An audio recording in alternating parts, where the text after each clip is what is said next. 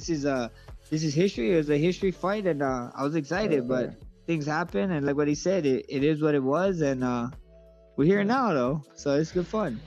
Max, how was your shape that time? Please tell us true. My shape, How was your like? How was your shape like? my shape was I I think so. It would have been I think so. I had at least four rounds.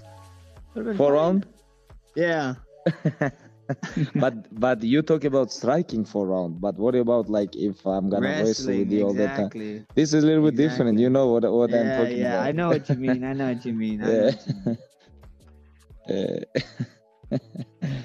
Like I told you that time, hey, what you gonna do with my wrestling? Because I'm gonna wrestle with you all the time. You have to be on good shape, but you just come from vacation.